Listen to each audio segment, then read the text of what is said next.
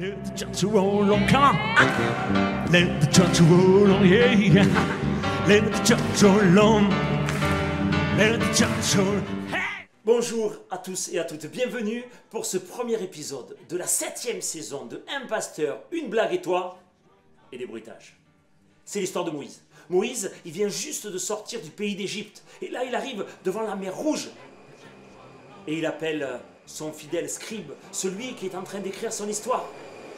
Omani Ah, Alors, je voulais faire au départ euh, l'accent juif, mais je me suis dit qu'on allait me traiter d'antisémite, donc, euh, bon, accessoirement, en fait, je ne sais pas faire l'accent juif, donc, euh, Mani, Mani, viens voir, viens voir. Bonjour, Moshe. Moshe, ça veut dire Moïse en hébreu. Qu'est-ce que tu veux? Tu entends là? Tu entends Hein? Tu entends les chevaux qui arrivent? C'est l'armée, l'armée du pharaon. Et là, là, il y a la mer Rouge. Et où ils sont les bateaux Hein, où c'est qu'ils sont les bateaux Oh, écoute, j'écris toute la journée ton histoire. Et toi, tu fais des choses tellement incroyables tout le temps. Alors je suis tout le temps obligé d'écrire. Et les bateaux, j'oublie. Tiens, oublié les bateaux?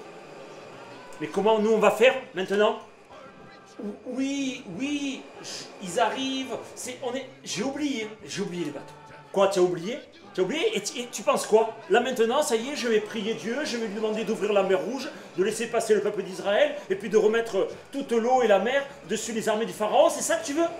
Oh, oh, pas trop, pas trop. Si jamais vous arrivez à faire ça, je vous obtiens deux pages de plus dans l'Ancien Testament. C'est tout pour aujourd'hui